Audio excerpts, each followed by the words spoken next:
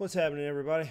Cowboy Chuck talking today about understanding more about the game of squad and how to improve your overall in game experience as a new player, even as a veteran player.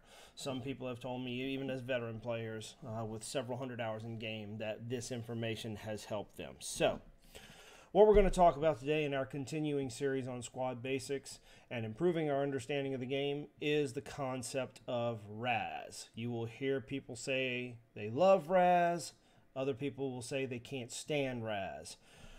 RAAS stands for Randomized, Advanced, and Secure, meaning at its core, from a attacker's perspective, you always have a defense objective that's active. In other words, you know the the objective that you have to be on, but you don't realistically know what the next objective is going to be on. Now, that's a huge caveat to older, more seasoned players. And when I say older, just people who have played the game hundreds of hours. It doesn't matter whether you're 14 years old or 64 years old.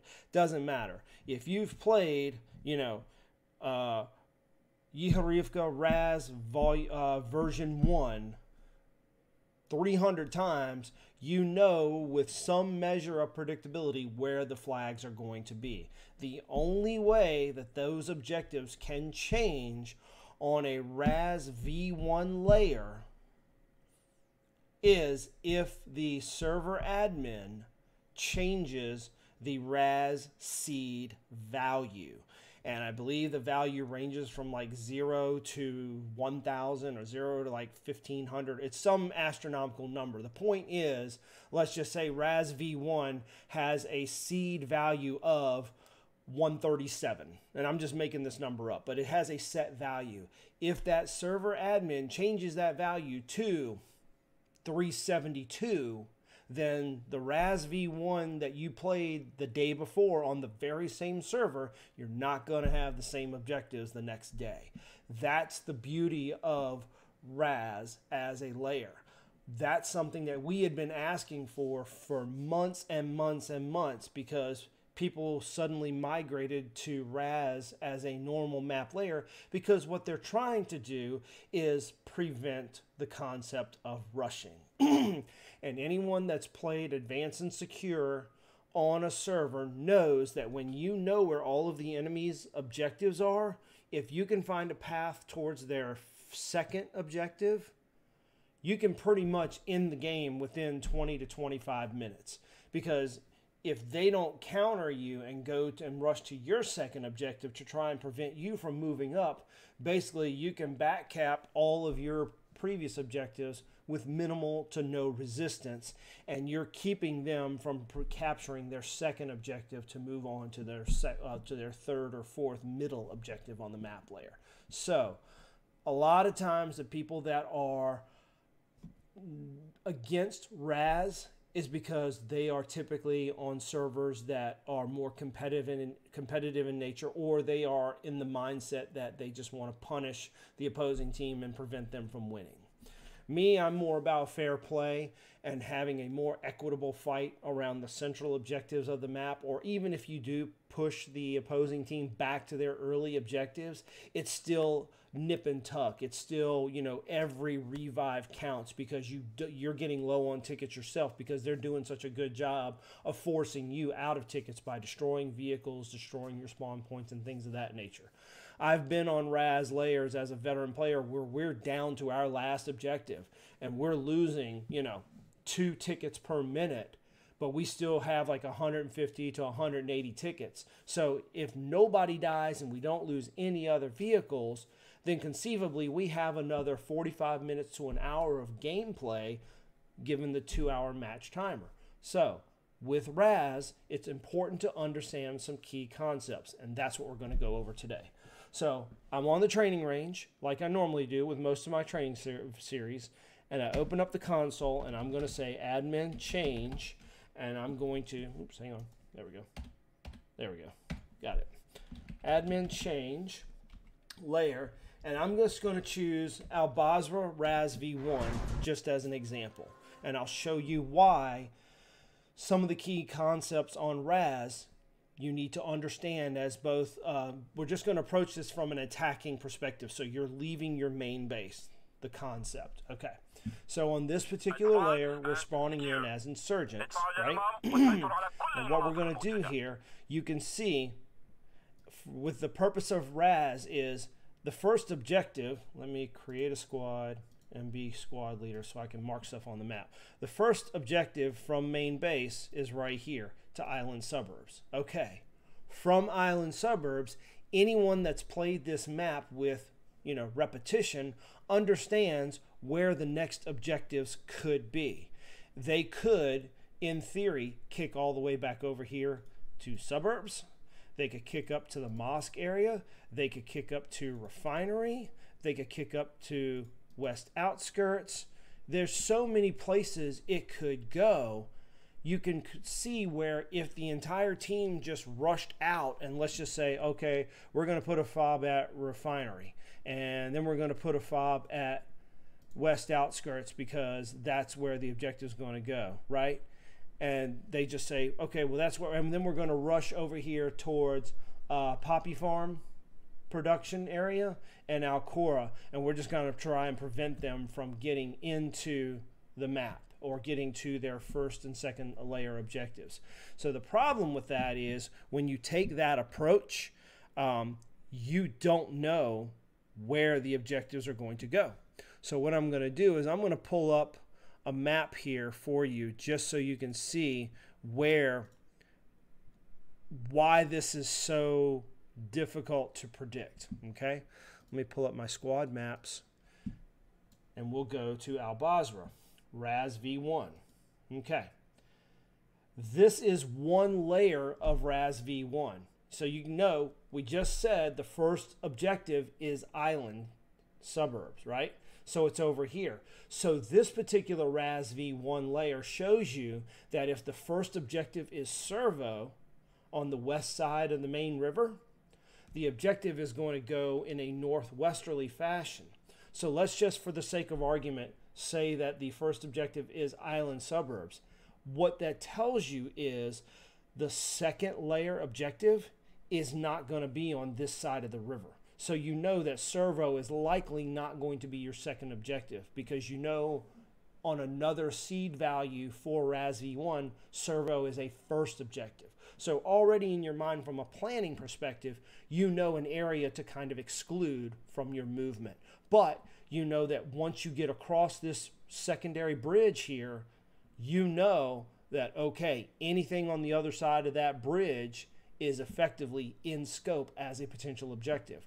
And for those that are unaware what the map layers could be as it relates to Al Basra RAAS V1, let's just say that with the um, with the island suburbs cap, your second level objective, if you had pushed your fob up into this area, you would be mistaken. You would be pushing your fob placement slash radio and hideout placement into enemy positions because from the enemy's perspective, their second cap objective is in this area. So realistically, that's your third cap objective. By pushing too far forward and potentially losing those logistical supplies and the ability to place down any sort of radio and spawn point for your team, you're handicapping your team's advance. Okay? So the more practical approach, to be honest with you, is okay, you know, island suburbs is a cap. You typically don't need to put a fob on the first point. However, with RAAS, because of the potential for enemies pushing up into your second level objectives, you've got to get a spawn point away from main base. So on a RAAS layer like this, especially if you're facing a faction that has helicopter access, where they can get to refinery before you, or mosque, or suburbs, or something like that, it probably wouldn't be a bad idea to place a radio over here. So you at least have one spawn point. And now you can say, okay, if I put one at island suburbs, and let's just say we'll put it all the way back in the very back corner, right? Put it all the way back here. Now We've got room at suburbs. You've got room at servo. Um, there's another uh, like courtyard courtyard areas right here. You've got crossroads here. You've got plenty of places where you can place hideout positions to move forward. I would, as an insurgent and militia, because you have similar designs as far as weapons and spawns, I would be placing a radio every opportunity I had.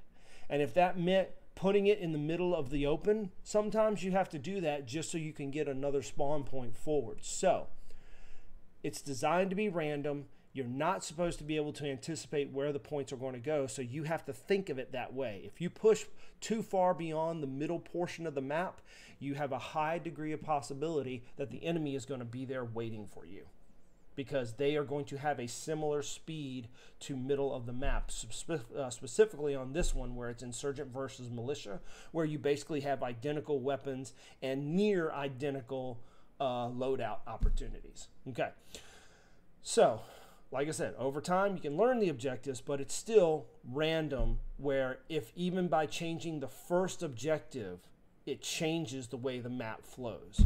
There are websites that show you all the different objectives. I use those websites as a reference point, and I'll show you exactly what I do. It's called there's a there's a website where you can see all the different objectives. Okay, here's the problem: if you've only used that website, you're not going to learn the map. The key here is understanding you can see where, okay, if it goes to island suburbs, you know the second objective is going to be across the river, which is the concept I told you about. The next objective, because of how small the city is, you know your second and third objectives are going to be really close to one another.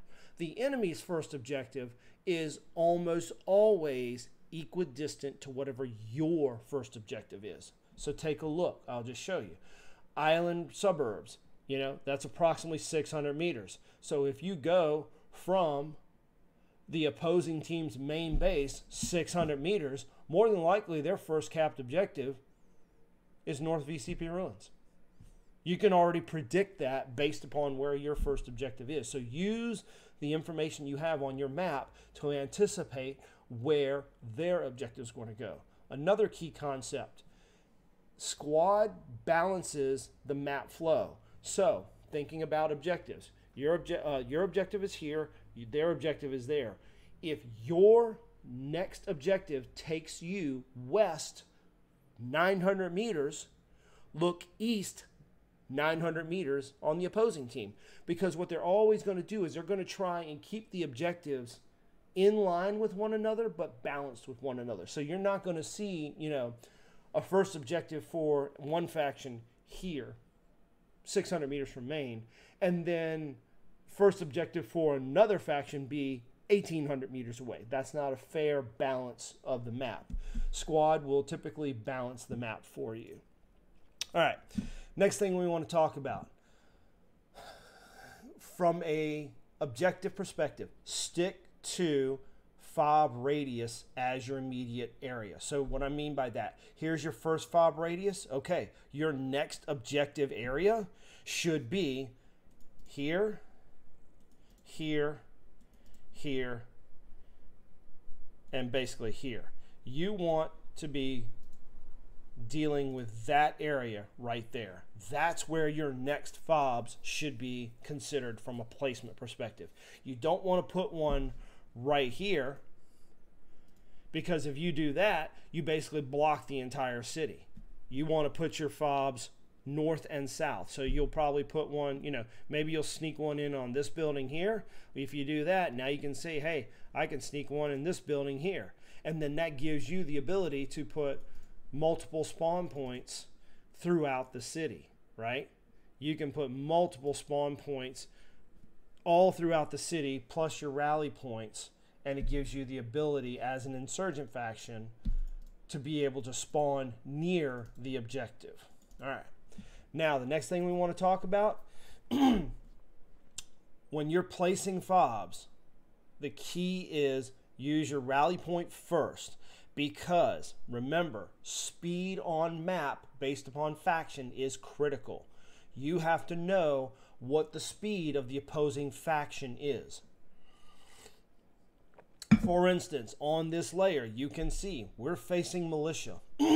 they are going to have identical speed. So if you can get to the north side of the city within 20 seconds, guess what? So can they. You are likely going to run into targets. So prior to you getting to that north side of the city, about 100 to 200 meters back, somewhere inside the village, you know, somewhere like maybe near Crossroads or um, uh, Courtyard or southwest of Mosque or something like that, you need to drop a rally point. Because if another team, another squad is pushing, let's just say you've got a squad with a friendly vehicle and they're pushing this way, and all of a sudden they're not paying attention and they run a run into a mine and it destroys a logi and full supplies and all the people in the vehicle, right? That's one whole squad taken out of the fight. But if you had dropped as an insurgent a rally point back here, the insurgents get the buddy rally. So that squad leader can then, when they die, deploy a buddy rally off of yours and get his squad back into the city in order to defend and prevent the opposing team getting into the city as quickly as they want to, right? You still might run into contact, you still might die, things of that nature, but you're giving your team the opportunity to spawn forward without the dependence upon a hideout. Okay, rally points down. Now, as you're getting ready to place your hideout and radio, you hear a vehicle check your map, look for, and listen to the sounds. You know that as if in this layer right here, you're facing militia. They have the same vehicles as you, as you, meaning they have the quick light technicals, they have the motorcycles, they have the same capabilities as you. So, listening to your vehicle sounds, your vehicle cues, look at your map, reference where you are, and say, hey, I hear a technical, you know, to my west. Open your map. Do you see anything within 100 to 300 meters immediately west of you? No, you don't. Okay, immediately know the enemy is near. You need to get that radio placed. Tell your squad, do not fire. The priority is getting the, hi- the initial hideout up so that in the event you take contact and you die, you have a spawn point, rally point, and the hideout. So now you got two spawn points. Get the ammo crate down as quickly as possible. Teach your squad trigger discipline. The objective is the key, not killing the enemy. A lot of people that come into this game think this is Battlefield where you win based upon how many kills you get. No, this is a ticket based game. You have to bleed the enemy out of their tickets.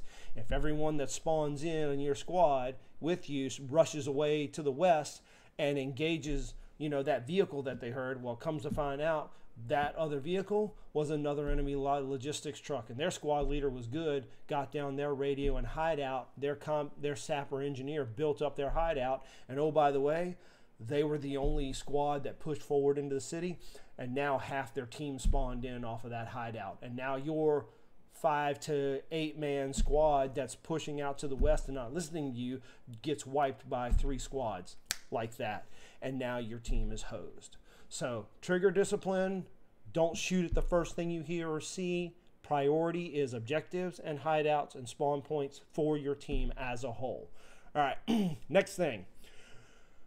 Once you place that radio, and like you hear some, you hear a vehicle don't drop the supplies right away. Okay? Wait until you can confirm you're not within range of an enemy. Because as soon as you start to drop supplies, there's audible or audio cues that the opposing team can hear if they're within 100 meters of you. Anyone with mediocre hearing can hear you dropping supplies out of the trucks because it all sounds the same. It's a loud, it's a loud mechanical clunky sound. It's very obvious. And if you don't know what I'm talking about, I'll show you right now. So when you walk up to this vehicle and I hold F, I can unload the supplies. Listen. That sound is identical for every faction. It doesn't matter what vehicle you have, it's all the same.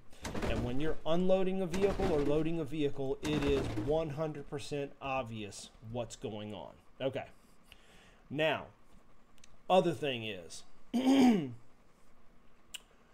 say you're on a map and you're a faction that has access to helicopters. As soon as the helicopters drop off personnel and place forward spawn points, they have one priority do a scouting loop. Have them fly around for two to three minutes as long as they're not at risk. If you're on a map that's got um, high powered armor, BTRs, BMPs, Bradleys, and any other number of CTASs and all these other vehicles, ASLAVs and, and LAVs and stuff like that, and you're driving past the midpoint of the map or you're flying past the midpoint of the map, you are taking a chance. So get high, scout, see where troops are moving to, what and what vehicles are moving, because it's more concerning for you to understand. Hey, they've got a logistics truck flanking far east or far west. They're trying to sneak around behind us and get a back fob, you know, and come behind us and catch, you know, almost catch us like in a pincher move.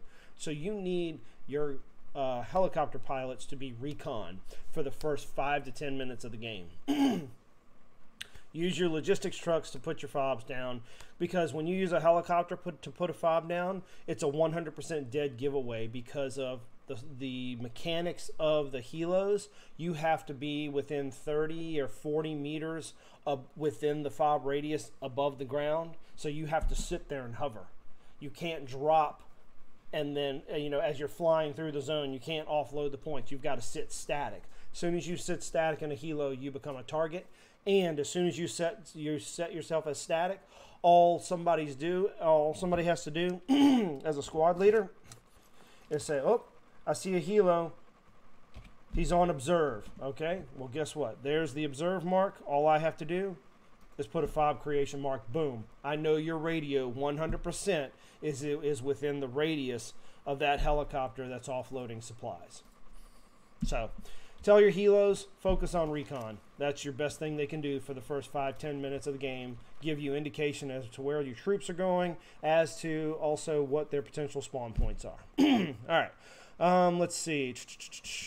Next thing you know, if you are running an armor squad, and that means tank, BMP, infantry fighting vehicle, even things like a bulldog, or you know, like there's the ZSU BMP that's still classified as armor.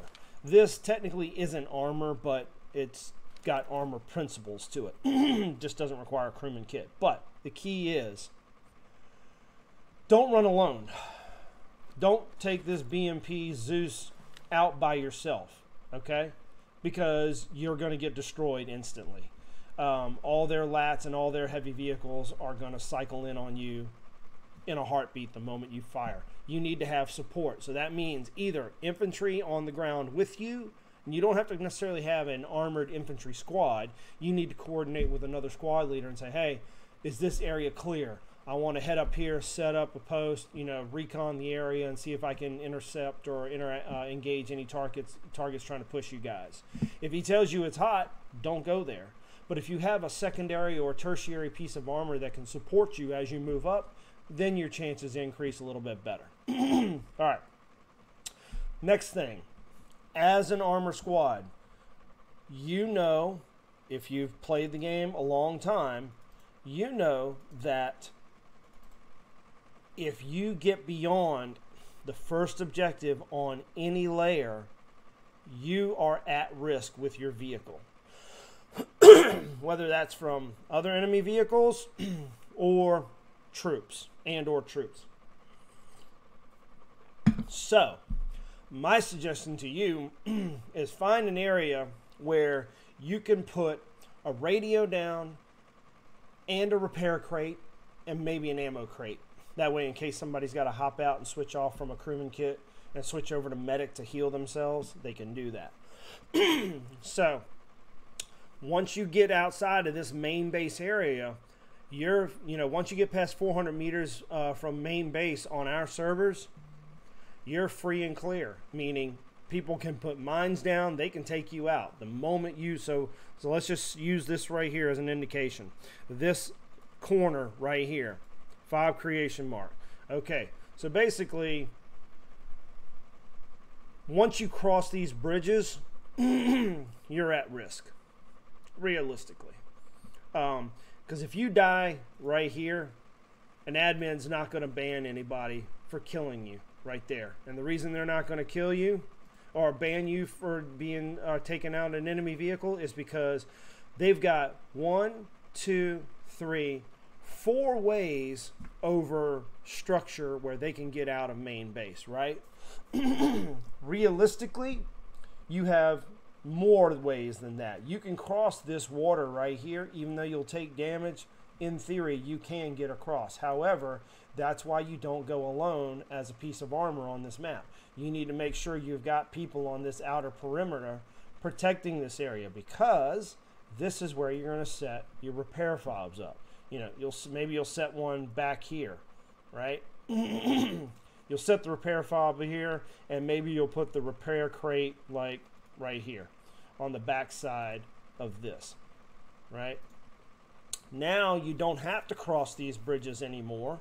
You decrease the opportunity for someone to mine you, and as far as resupplying it, you can have somebody with a logistics truck you know, borrow it really quick and just do two quick runs, bang, bang, half and half, reload this fob, and then load it back up with supplies and, and drop the uh, truck off at a fob, or have that squad leader tell you, hey, just leave it at main, I'll pick it up later.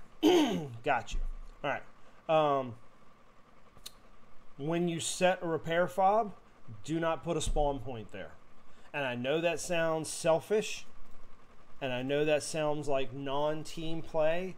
The reason you don't want to create a spawn point, spawn point, unless, of course, your team has no spawn other than main base, then that's a different story. But early on, early match, and you still have a couple objectives out on the map that you possess and are not, not at risk of losing, your, your fob for the ammo, uh, the repair crate, should not have a spawn point. If you want to drop your rally point there, absolutely go for it.